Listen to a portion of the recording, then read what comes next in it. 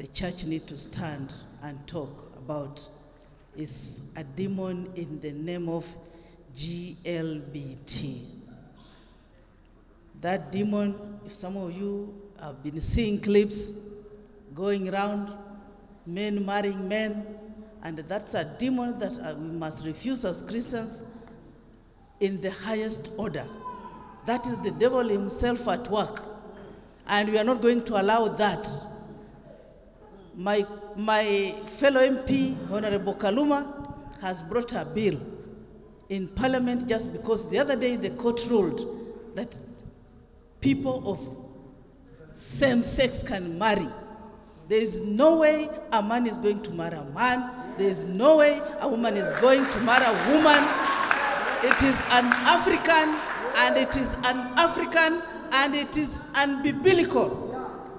And that's why God made Adam and Eve. And that's the way to go. I'll ask the church in the whole of Kenya, in the whole world, to speak against that demon in the name of Jesus. And we are refusing that. It is very sad.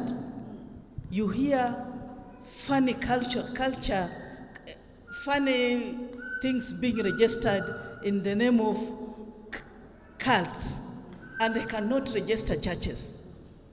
Kenya is the land of God, and we are not going to allow cults to be registered. And as, as, as parliamentarians who are born again, going to watch, and that thing is not going to happen.